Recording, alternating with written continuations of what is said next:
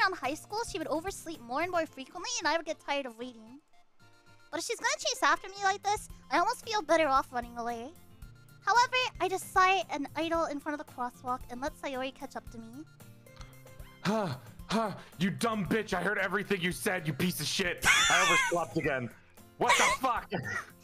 Your inner monologue's leaking out. I caught you this time. I'm gonna beat the shit out of you.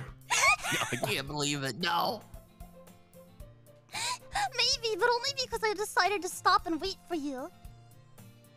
Oh, yeah? Okay. I can clearly hear your inner monologue about ignoring me. Uh, That's super rude.